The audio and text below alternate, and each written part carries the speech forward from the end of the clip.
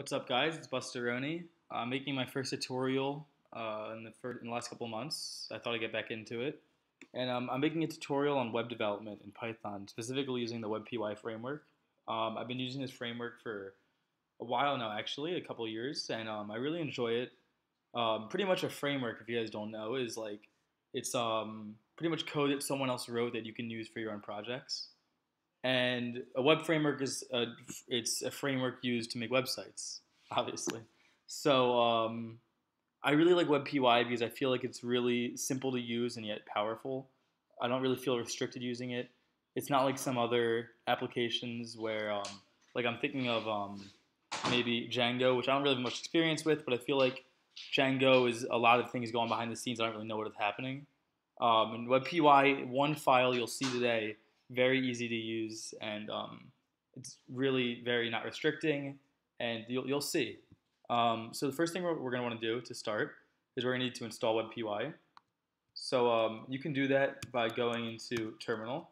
Um, for command prompt for Windows and other things, um, there's, there's similar options, but for Mac at least you're going to be using Terminal.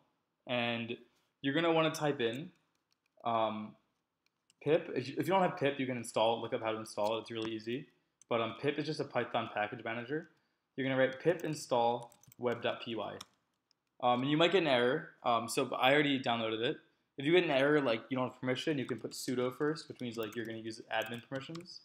And then you're going to type in your password. And I'll get the same error because I already have it. But if that doesn't work, just look up your problem. And if it's still the error, you can post a comment and I'll try to help you or someone else will try to help you. So now that I have WebPY, I can actually get started. Um, I really just installed all of the code that's already been written that lets me use WebPY. Um, so I'm going to go into Finder, wherever you want to make your code, wherever you want to write it. I'm just going to make a new directory right here called, let's say, um, YouTube. Um, and then I'm going to go into Terminal, and I'm going to change my directory to be into the YouTube directory. So when I do that, I can do CD. This is my home directory right here. And I'm going to say CD slash desktop, and you can use tab to autocomplete if you want, slash YouTube. And now I'm inside the YouTube directory. If I want to list all my files in the YouTube directory, I can do ls. Right now it's an empty directory, so nothing's going to show up. But um, I'm going to make a file, and I'm going to call it, so I'm going to go into Sublime Text. You can do whatever you want. Um, I just use Sublime Text as my code editor. Um, I'm just going to write, I'm going to save the file as desktop, YouTube, call it whatever you want. Um, I'm going to call it app.py, app.py. This means it's in a Python file, and app is just what I'm calling it. It's web application, but that's up to you again. Um, so I'm going to write the first line of code for what we need to do. So the first thing we need to do to write a WebPY application is import web. And what this does is it imports the WebPY framework and lets us use all of the uh, all the code that's already been written for WebPY. So I'm just going to save it and make sure the file runs correctly with no errors. So I can type in Python app.py.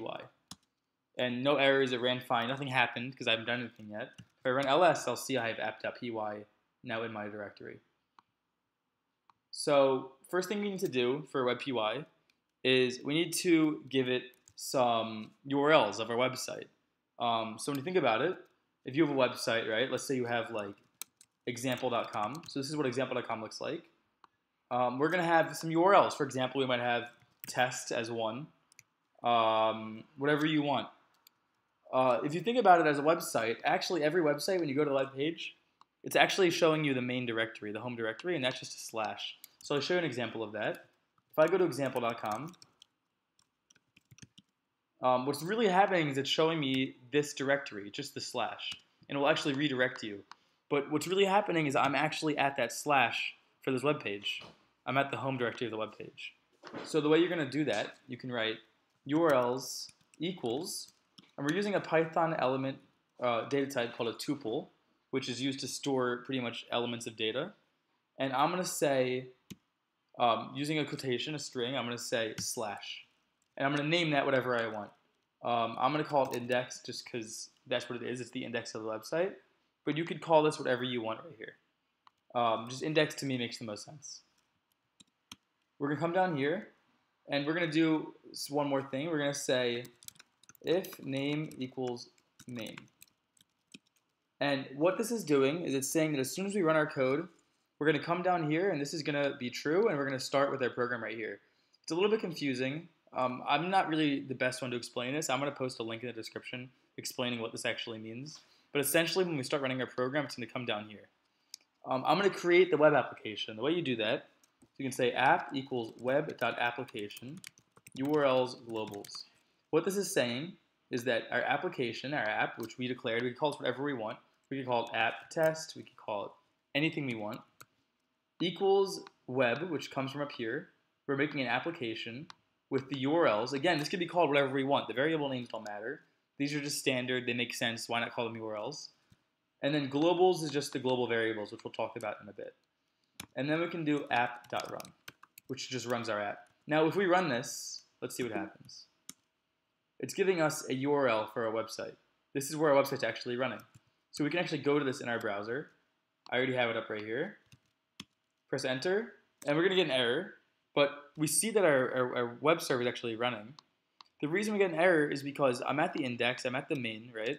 But it can't find the index. There's no code we've written to handle when a user goes to the index of the website. So it came over here, it saw the URL was a slash, it saw it's the index, but there's no code handling what happens when we find the index. So we're going to write that now. The way we're going to do this is we're going to create a new class, uh, which is a way, the, the way the WebPY handles um, URLs like that, class index. And we're going to write a method inside of this class. We're going to call it get. The reason we call this get, well, there, there are two main things we'll be going over, at least for these tutorials, get and post. And they're both ways of accessing web content. Um, get is what you use normally, right? When you come over here, you're actually saying, I want to get the content for this. I want to get 00008080. I want to get the index of this page.